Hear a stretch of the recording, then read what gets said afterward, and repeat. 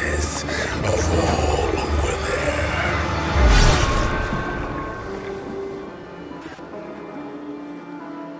You. You look familiar.